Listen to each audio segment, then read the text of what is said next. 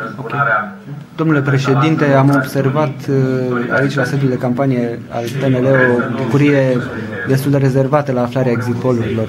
Cum comentați acest lucru? În primul rând era un rezultat așteptat, deci te bucuram dacă era mai mult decât ne așteptam.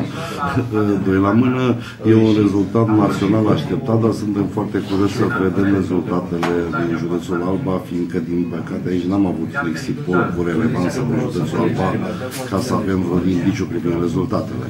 Și de aceea emoția e mare, stăm să vedem care sunt rezultatele de la noi, de acasă, din județ.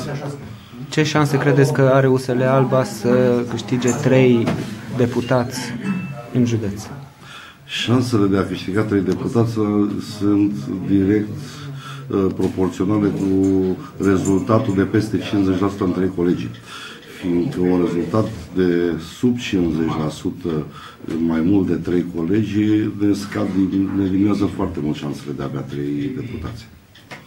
Cum comentați faptul că în județul Alba nu s-a înregistrat de această dată nici un incident electoral sau pe parcursul votării? M-aș bucura să cred că este din maturizarea clasei politice dar cred că o influență a avut și vremea nefavorabilă care a dat mult de lucru administrațiilor locale care nu au avut timp să ocupe de altceva decât de asigurarea căilor de comunicație către secțiile de votare și atunci a fost o liniște mult mai mare. În general nu alegătorii fac uh, incidentele, ci administrația locală care devine de foarte multe ori uh, prea partizană și vrea să obțină rezultate mari cu orice fel de metode.